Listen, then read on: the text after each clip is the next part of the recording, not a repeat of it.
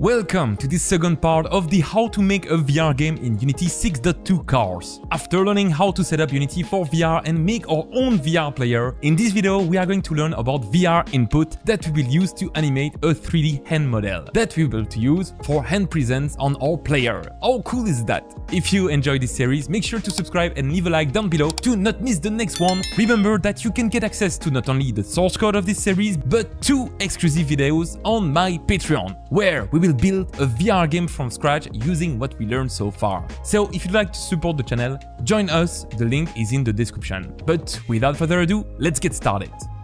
Okay, so we are left where we were at the end of last episode, and if we want to understand how input works for VR controllers with the Unity XR Interaction Toolkit, we need to learn about the XR Interaction Debugger. So to do this, let's go above to Windows, Analysis, and here click on XR Interaction Debugger.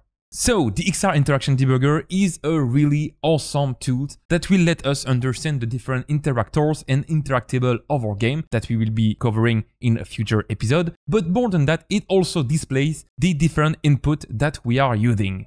To do this, let's uncheck interactors, uncheck interactables, and enable input devices. Once that's done, we can simply click on play. Okay, so already you can see what's going on. We have three input devices, the head tracking, the MetaQuest Touch Plus controllers for the left hand, and the MetaQuest Touch Plus for the right hand. Basically, it was able to recognize the device that I'm using. And for the head tracking, you can see that we have the user presence. You can know if we are tracking right now. We can have some input for the eyes position. But if we go under maybe the left controllers, we can have a look at the different input available for us.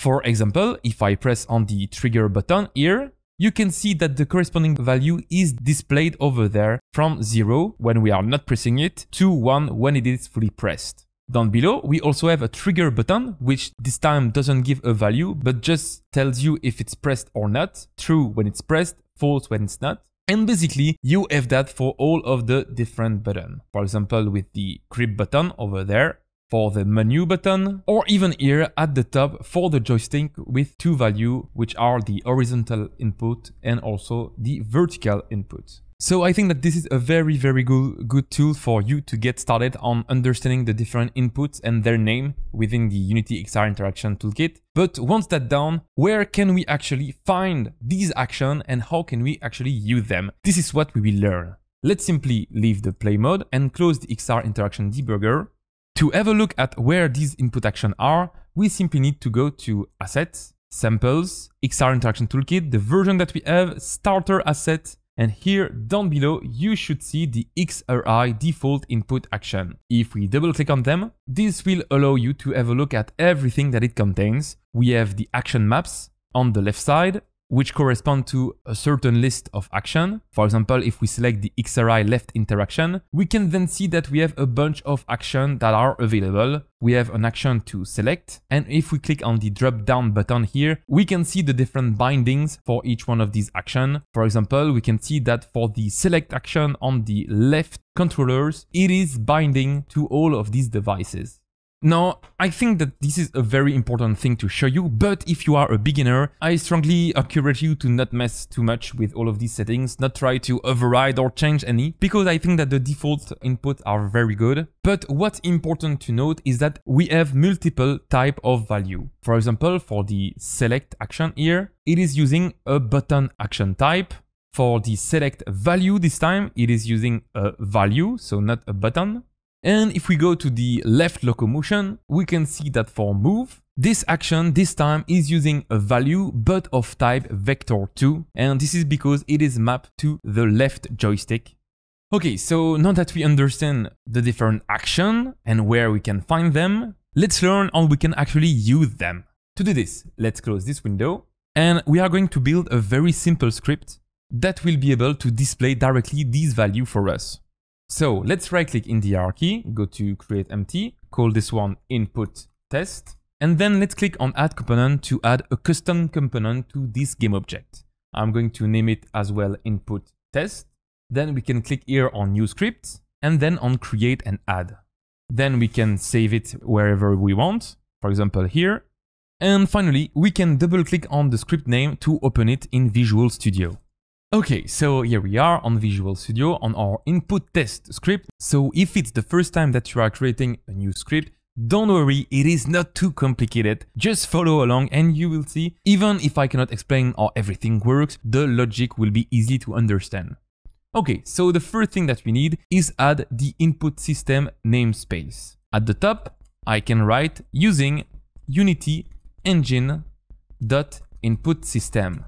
By doing this, we are allowing our script to access the new input system from Unity. And in our case, we need to create a reference to one action by doing public input action property. And here we can name it anything we want. For example, test action value. And finally end the line by a semicomma. There you go. Now if we save with Ctrl S and that we go back to Unity, you can see that the script compiler. And there you go, you can see that now we have a reference appearing on Unity for our test action value that we can directly reference right now. For this, let's simply click here and use reference. And now we can assign any input action value that we want. We can click here and select one of these. Or another technique is simply maybe to go under our samples, XR interaction toolkit, and find our XRI default input action list. If we click on these little icons, we can scroll through all of our action. In my case, I'm going to select back the input test game object and drag on the test action value the XRI left interaction select value. Beautiful. Now our action is reference. It means that we will be able to listen to it on our script. So let's go back to our script and the big question is, how can we actually listen to that value? And for this, we will need to go here on the update function. The update function is something that will be called every frame of our game. And we can actually get the action simply by writing float value equals test action value dot action dot read value. And here we need to say the type of input that we are reading. In the case of the input value, we want it to be of type float. And there you go. Now that we have that value, we can do anything with it. We can use it to trigger any behavior, turn object red, move the player, anything, but in our case, we are simply going to write it on the console with debug.log, and here we can write value plus value. This will simply here write on the console this text, which will able to display here the value of the input directly. Okay, now let's save go back to Unity. And now I think that we are ready. Let's click on play to find out if this works. Okay, so here we go, nothing seems to happen, so what's going on? And this is because we don't have the console windows showing, so we can simply open it by going to Windows, General, and here click on Console. And as you can see, we have some result over here. We have some value being displayed on our console window. Now, if you don't see any, Make sure that this is enabled, otherwise it will simply ignore the debug. But now, the real test will be to find out if we are pressing on the grip button on the left controller, if this value will update, and let's find out if I press on it. There you go, as you can see, a value from 0 to 1 is displayed, which means that we were able to get the input in a custom script, and now that we are able to use that input for any behavior that we want.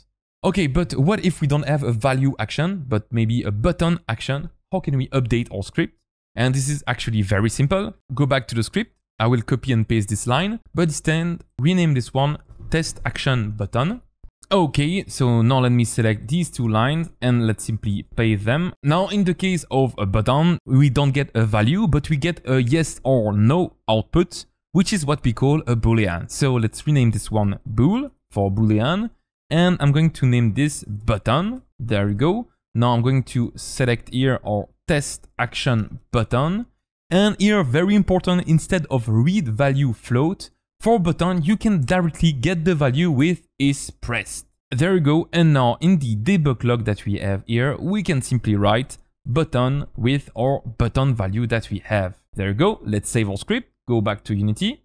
For the test action button, we can set it to use reference, go back to our XRI default input action over there. And now if I select back input test, I can simply set it to be XRI left interaction select over there. And here we are, we now have two different type of action, one which is a value and the other which is a button. So let's save and click on play to find out if this works. And there you go, as you can see, if I press on the create button, it updates correctly the value from 0 or 1, but the button value give us only true or false correctly depending on if it's pressed or not. And there you go, that sums up how you can actually use XR input. But let's put what we learned into test, because I want to use these input value to actually animate hands and create hand presence for our player. Of course, if we need to animate a hands, we need an animated hands 3D model.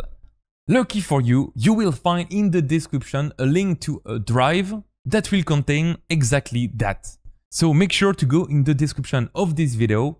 Once you open the drive link, you can simply download it right there. Once it is downloaded, you can drag it in Unity here on the asset folder. And as you can see, it will open the Unity package and show you what's inside. You can then click on import. There you go. As you can see, the package is in our project now. If we go in animated hands, prefab, we can have a look at the two hands that this package contains, which I think looks very, very good. Now we are going to drag them under the left and right hand of our player. So we need to do the same as for what we did in the previous episode on the XR controller, which is copy here this component, drag the left hand under the left hand, and paste the value of the component back.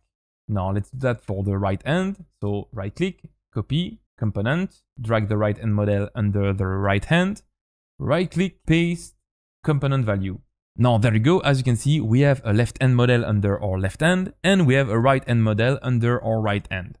Now, of course, if you prefer to have controllers, you can disable them. But in my case, I actually prefer hands over controllers. So I'm going to select the previous controller that we added, so the XR controller left, as well as the XR controller right, and disable them by clicking here. There you go, now only the two hands are showing. And now let me show you something very, very cool. Because if we double click on the left hand animator, there you go, this will open the animator panel that is able to animate the hand. We can select the blend tree and double click on it. And here, if we click here on blend tree, this will show you a bit what's going on. Now, you don't need to know anything about animation to actually use it, but I think it's really cool for you to actually watch what it does. Because here we have, as you can see, two value, the grip and the trigger value. And if we increase the grip value, as you can see on the right side, it will update the 3D mesh accordingly. Same goes on for the trigger. As you can see, it will pinch. So two sums up, here our goal will be to listen to the input of our player and change these two values accordingly so that the end is able to animate. Okay, let's find out how we can do this. We can select back the scene window. Let's select the left hand model, then press on the control key and select the right hand model, click on add component and add a new component named animate hand on input. There we go, we can click on new script and then on create and add. Then on save, after compiling, we can open the script by double clicking on the animate hand on input. And here, the script will exactly use what we just learned with the input test script that we created earlier. So remember, we need to write using Unity Engine dot input system then once that's done, we can create some input action. In my case, I will need two input action. Uh, input action property for the trigger value and an input action property for the grip value. There we go. Finally, I will also add another reference, but this time for the animator, which is responsible to animate the hand. We can call it hand animator. Beautiful. And now on the update function, we are going to get the value of the trigger input action by simply float trigger equals trigger value dot action dot read value float. Now let's do exactly the same, but this time for the grip with grip value dot action dot read value float. And once that's done, what we simply need to do is update the value of the animator. Now, if we go back to Unity, and click on the animator, we can see that on the blend tree, these two values are called grip and trigger. So this is the name of thing that we need to update. So if we go back to our script, let's do an animator dot set float, give the name trigger, and then as a second parameters, we can give the trigger value. Beautiful. Now let's do the same for this time, the grip with grip, grip. And beautiful, as simple as this, we are able to get the two input value of the trigger and the grip button, and we are able to update the end animation accordingly. Now we can simply save our script, go back to Unity, And now what's left is to simply reference the animate hand-on input component. So for this, let's click on the left-hand model. For the trigger value, let's set use reference and search for XRI left interaction activate value. For the grip value, let's do use reference and this time XRI left interaction select value. Beautiful. For the hand animator, we simply need to drag the animator of this ends over there. And now our left hand model is set up correctly. Let's do the same for the right end. Use reference, right XRI, right interaction, activate value. Use reference, XRI, right interaction, select value. And finally, drag the animator. And just like that, as you can see, our left and right hand model are correctly set up with the animate hand on input that contains the correct action. Now let's select back the scene window and let's click on play to find out if this works. And there you go guys, it is working. How awesome is that? I can see both my hands moving when I press a button on the controller. Again, thank you for following till the end and make sure to subscribe to not miss the next episode about how to move in VR with continuous movement and teleportation. And if you'd like to get access to the source code and watch the two exclusive tutorials of this series where we will build a VR project from scratch, join us on Patreon, the link is in the description. Thank you for watching and see you soon, bye bye!